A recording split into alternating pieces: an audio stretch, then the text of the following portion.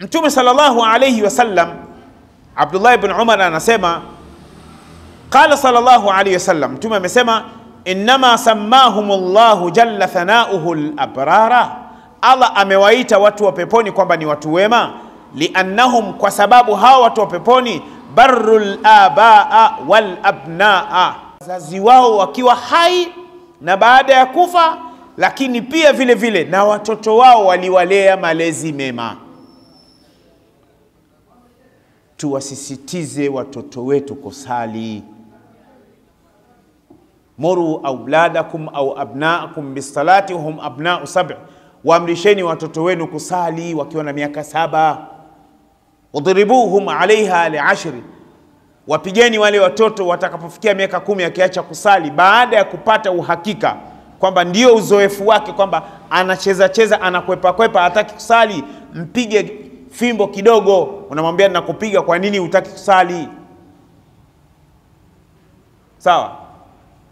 Inawezekana mtoto anaweza akalalamika, sijui kwenye vyombo vya nini, sijui kwamba kwa nini unamkosesha mtoto haki yake. Maanake duniani, dunia ya ajabu hii, dunia ya ajabu.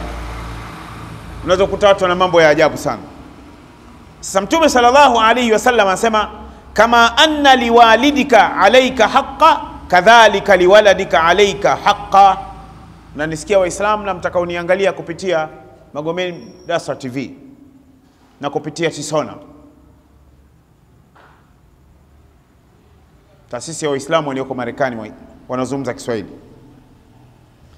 Mtume anasema kama vile mzazi wako ana haki kwako, pia na mwanao ana haki yake kwako. Mzazi ana haki gani? Baba na mama, baba na mama, baba na mama. Qurani imemtaja baba na mama katika sura nane mara kumi na tano baba na mama. Nchi yako haijatajwa, uraia wako haujatajwa, usmati wako haujatajwa, chama chako hakijatajwa, klabu yako ya mpira haijatajwa, viewers wako hawajatajwa. Ametajwa Allah, anakuja baba na mama. Allah baba na mama, Allah baba na mama, Allah baba na mama. Hebu tujiuliza, sisi tuliopo msikitini hapa kwa wiki hii moja, nani amekumbuka angalau kumtolea sadaka baba na mama? Baba na mama wapo hai, umewafanyia nini? Unamkuta mtoto ni jeuri kwa baba, ni jeuri kwa mama. Hii hatari. Mtoto anamchamba mama yake kama vile mtu anachamba mbaazi. Unamdhalilisha mtu. Ndugu zangu katika imani, nikwambieni na hapa, wallahi, baba na mama wana thamani kwa mtoto kuliko nchi yako ya Tanzania na serikali yako. Hii ni kuelezeni mapema, wallahi na apa, naomba Allah awe shahidi. Baba na mama, baba na mama, Suratu Nisa. Sura 4 aya 36, waabudu llaha wala tushriku bihi shaia wa bilwalidaini ihsana, mwabuduni Allah peke yake, msimshirikishe na chochote. Wazazi wawili baba na mama wafanyieni wema.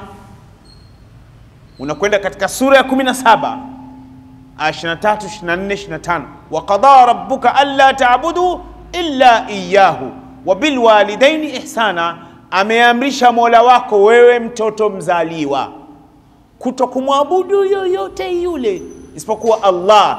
Wazazi wawili wafanyie wema. Ndugu zangu katika imani, kuna nyinyi wengine bahati yenu bado mna baba na mama wapo hai.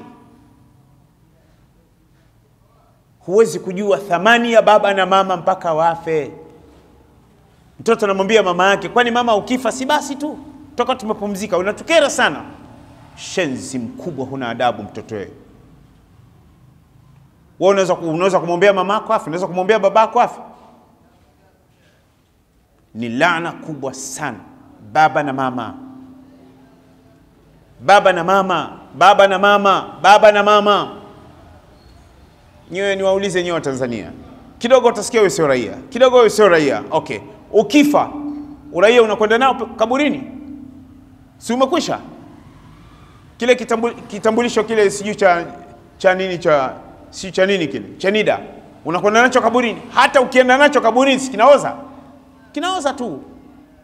Chukua uraia wa milele hapa duniani kwa kumwabudu Allah peke yake na kumfuata Mtume Muhammad sallallahu alaihi wasallam, wazazi wawili, baba na mama. Ndugu zangu katika imani, wallahi mtu yoyote hana adabu na mtu ambaye ahasia muheshimu baba yake na mama yake, huyu ni muhuni. Nyani ana afadhali kama humheshimu baba yako na mama yako. Bora kufuga nyani kuliko kuwa na mtoto kama huyu. Hatari sana. Siku moja sahaba mmoja alikwenda kwa Mtume akamwambia, ya Rasulullah, ewe Mtume wa Allah, mimi nina baba na mama wapo hai, hawa watu wawili, nani ambaye ana hadhi ya kwanza? Mtume akamwambia, ummuka, mama yako. Yule bwana akarudia, ya Rasulullah, baba na mama ninao. Mtume akamwambia, ummuka, mama yako. Yule bwana akarudia mara ya tatu mbele ya Rasulullah, Mtume yupo hai na aya zinashuka. Mtume akamwambia ummuka, mama yako. Yule bwana akarudia maana ya nne, Mtume akamwambia abuka, baba yako. Mama ana nafasi tatu kwa mtoto, baba ana nafasi moja. Wanaume wenzangu, najua mnaweza mkamaindi mkasikia hii. Ukimaindi ujue humpendi Mtume. wama kana limuminin wala mumina idha qada Allahu wa rasuluhu amran an yakuna lahumul khiyaratu min amrihim, haifai kwa muumini mwanamume na muumini mwanamke itakapokuwa Mungu na mtume wamehukumu jambo fulani, wao wawe na khiari. Hapana. Sura 33 aya 36, chukua hiyo. Amesema Mungu na mtume, stop. Au nao achana nao, achana nao, achana nao, tafuta radhi za Allah tafuta radhi za Allah, tafuta radhi za Allah na kumfuata na kumpenda, kumuhami, kumwenzi Mtume sallallahu alaihi wasallam. Kisha wazazi wawili, baba na mama, hawana thamani baba na mama. Nani kati yetu anayemjua thamani baba na mama? Hii ni hatari ndugu zangu, ni hatari. Mtoto mmoja wa kike anamdharau mama yake, anakosana na mama yake anamnyanyapaa mama yake, anamtangaza mama yake kwamba ni mwanga. Mama naye umezidi, watu wanakusema mtaani, we mwanga. Mwanangu, mwanangu, basi hata wewe we mwanga tu mama, chana na mimi. Binti kaolewa. Baada ya kuolewa, ndoa ikapita, ikafikia hatua mama akienda kwenye harusi, yule binti haendi kwa sababu mama yake mzazi yupo kule na mama mzazi akijua kwamba binti yupo kwenye sherehe fulani haendi mama, hata kama ni ya ndugu yake. Binti kaolewa. Baada ya kuolewa, kapata ujauzito, mimba imeshika sawasawa, akazaa mtoto ambaye hana kiganja cha mkono, mkono umechonga kama kalamu, analia, mambo yameshaharibika. Huyo wa kwanza. Mtu wa pili. Amemnyanyapaa mama yake, amemtenga mama, amemdhalilisha mama, amemchukia mama vibaya sana, mpaka wajomba wameingilia kati, imeshindikana.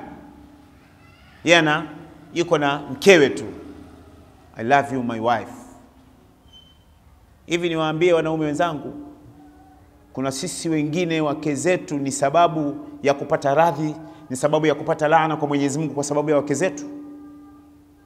Nyiwe wanaume mlioa, mnaonisikia hapa na mtakaoniangalia baadaye kupitia mitandao, wanaume wengi sana anakuwa mjinga mjinga sana tena jifala kwelikweli. kweli, yuko tayari kukosana na mama yake mzazi au baba yake mzazi kwa sababu ya mkewe. Hapana, huu ni ufedhuli, jambo ambalo Mungu halipendi. Mimi silizungumzi kwa urojo urojo, nasema huu ni uovu. Imesuluhishwa ile kesi, imeshindikana. Mama yule bwana alikufa, mama mzazi. Akapigiwa simu na wajomba, bana, mama yako kafa. Akafunga safari. Kwenda mkoani, mkoa hautaji huo. Alipofika kule na mkewe kenda naye, yule mkewe alipofika pale, alipokuwa anamchukia huku, alipofika pale msimani, akaanza kulia, analia analia analia hivi. Mnajua wanawake sometime wanafanya comedy kwenye msiba eh? Siku moja niliwauliza baadhi ya kina mama, akina mama, kwa nini mnapokuja kwenye msiba kwa foleni kwa makundi mnakuja kimya, mkifika msibani mnalia alafu baada ya muda mmekaa kimya? Nasema ah, she usipolia namna ile, wanasema wewe mwanga. Hii nimepata kuuliza baadhi ya kina mama. Yule dada naye akaanza kulia, mawifi zake wanamwangalia tu, maana yake kimoyomoyo unamlilia una leo mama, leo si ndio ulikuwa ukimchamba wewe? Yule bana alipofika pale, hata kabla hajaweka vitu vizuri, akaomba aingie chumbani kumwona mama yake kisha kufa. Ndugu zangu, nini kilichotokea? Anaingia, anabisha hodi, anaambia watu wanaosha, akaambia mimi nitaingia hivyo hivyo. Wale waoshaji wakaambiwa ni mwanaye wa kiume anataka kuingia, akaambia sawa. Yule kijana yule bwana alipoingia chumbani kwa mama yake anaoshwa yule mama tayari, kishaloa na maji anaoshwa, bado hajawekwa kwenye sanda. Yule mama maiti yule aliunguruma, akapiga kelele, akaamka, aka akakaa kama yuko kwenye kitanda mm, akakaa namna hii. Waoshaji wote wakasepa, mwanangu, fa mchezo, maiti kakaa au wakasepa hao. Ye mwenyewe mtoto akasepa, akarudi. Sasa wanaona watu wanakimbia watu nje wanaambia, kwani vipi? Mashekhe wanauliza kwani vipi? Maiti kaamka, anaunguruma huko. Maiti sema eh, maiti sema maiti, kwenda kumwangalia, wanamkuta yuko hmm, hmm, hmm. Basi walipoingia watu wa kawaida, yule maiti akarudi, yule bwana akarudi tena, maiti akaamka. unajua jumba zake walifanyaje? Walimkamata, wakatafuta washikaji wake wenzake kama wakamkamata wakampeleka nyumba ya tatu, akakaa kule tangu mama anaoshwa, anavishwa sanda, anaswaliwa mpaka anapelekwa makaburini. Hakufika kwenye mazishi ya mama yake. Hii anaonyeshwa ni show ya duniani, bado show ya akhera. Tumeelewana vizuri?